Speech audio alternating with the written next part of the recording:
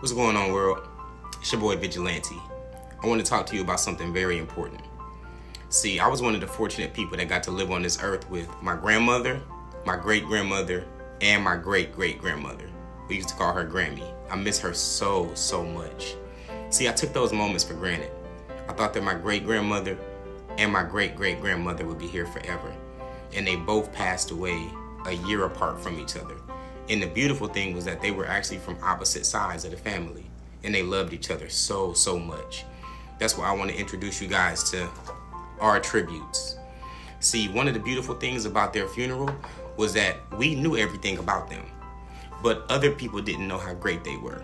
So now we get to put these on their tombstone so when people go by, they can scan the QR code and learn everything about their life and how great they were and why they were so near and dear to everybody in our family's heart.